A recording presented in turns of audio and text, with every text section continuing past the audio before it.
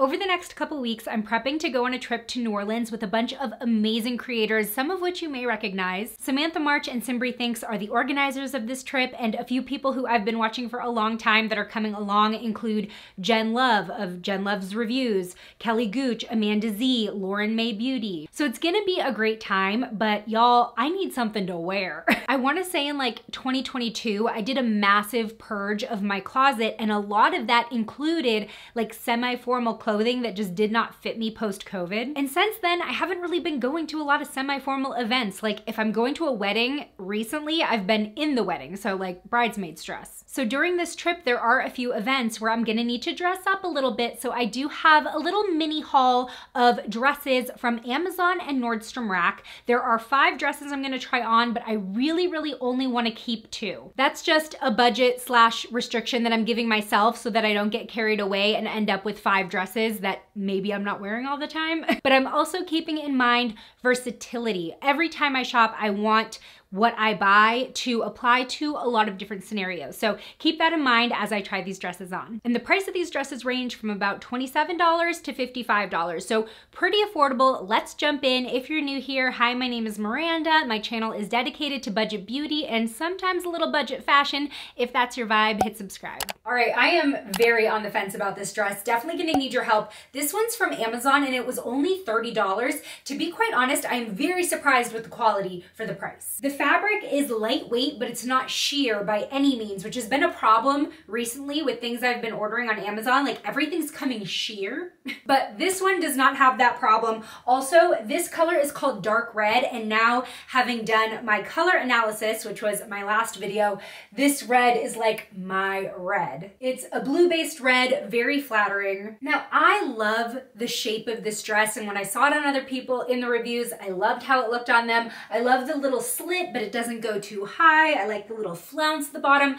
I'm just not sure the shape and construction is best for my body type. Here's what I mean. The waist of the dress is just slightly higher than my true waist, which sits about here. So ideally, this is where I would be cinched to get my waist to look, you know, proportionate, but because it's just a little bit higher, I feel like I end up looking a bit wider or more pear-shaped. Like I feel like this just makes my hips look wider than they are.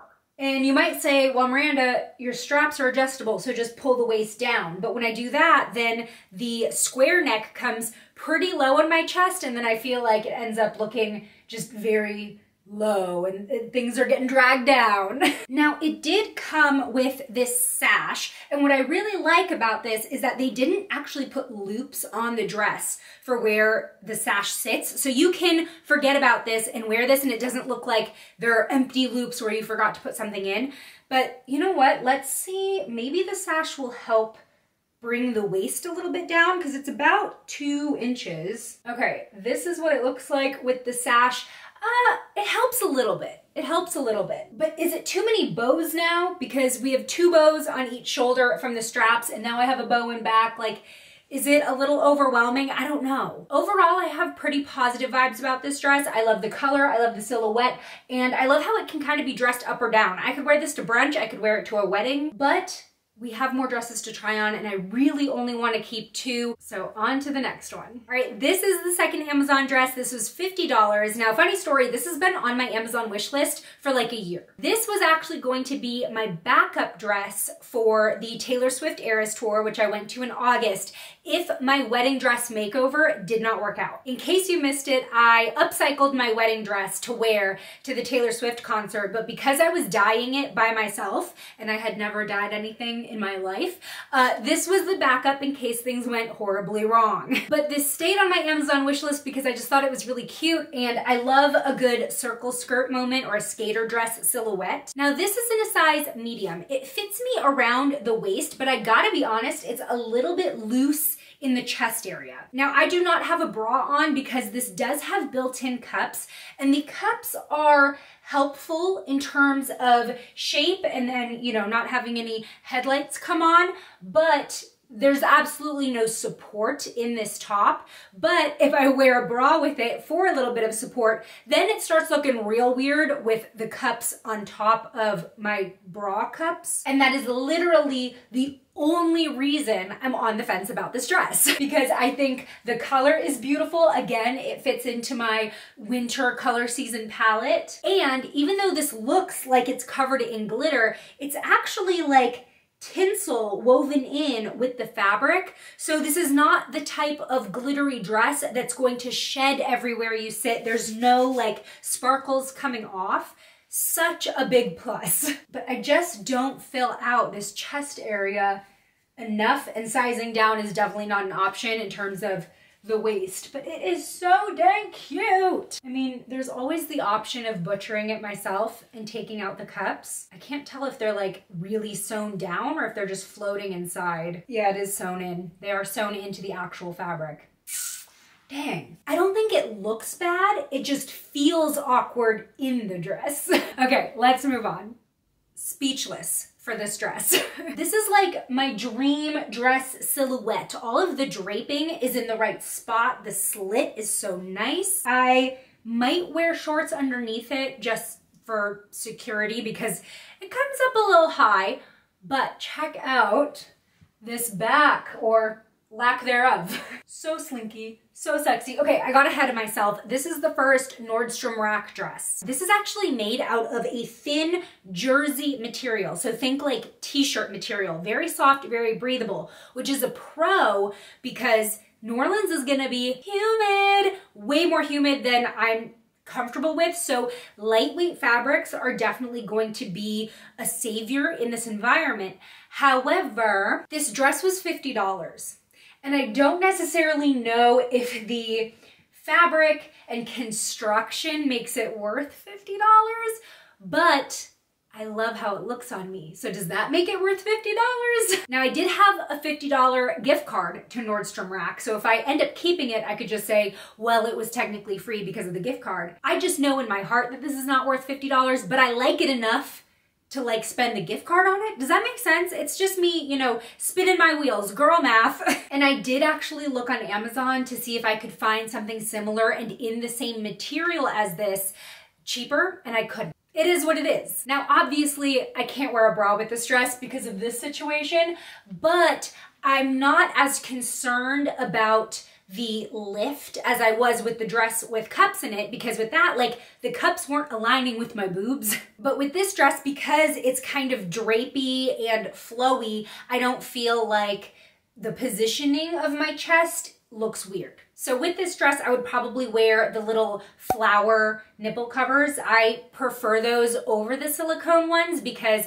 especially if I'm gonna be sweating and it's humid, those just pop off. Let me tell you, one time I wore the silicone nipple covers to a concert that was televised and I was in the front row and they literally kept sliding off my body. So there was this railing and I kept having to duck behind the railing to like try to stick them back on and then pop up and there was a camera in my face.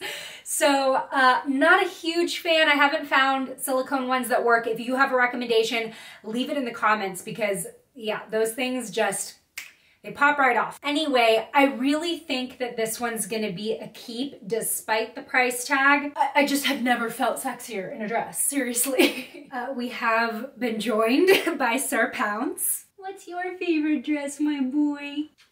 This dress was less than $30 at Nordstrom Rack and typically if you were to ask me to describe my favorite color, this would be in that realm. I've always loved lilac and lavender, although usually I go for one that is a little bit more pinky based versus blue based. And this dress is so fun. It's got these like little fuzzy tinsel things on it. Let me see if I can show you the texture. You kind of see that texture a little bit better. So the texture gives it a pattern, gives it something a little bit more interesting. It is made incredibly well. Like this is definitely higher quality than the t-shirt dress. I also like that it's sort of form-fitting without being too tight. It's not a bodycon by any means, but it's, you know, it's giving you my body silhouette. We have another cowl neck, which is super trendy right now, and I'm not wearing a bra right now, but I could with this dress because the back isn't too low. There's literally only one thing wrong with this dress, and it's probably the reason it's going back.